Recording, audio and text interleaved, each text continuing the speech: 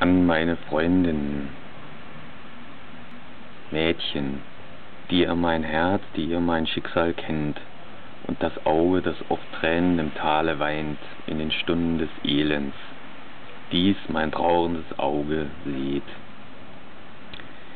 In der Stille der Nacht denket an euch mein Lied, wo mein ewiger Gram jeglichen Stundenschlag, welcher näher mich bringt dem trauten Grabe, mit Dank begrüßt.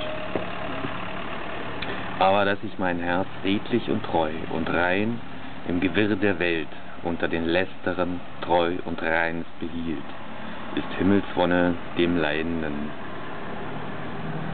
Mädchen, bleibet auch ihr redlich und rein und treu, gute Seelen, vielleicht wartet auf euch ein Los, das dem meinigen gleicht, dann stärkt im Leiden auch euch mein Trost.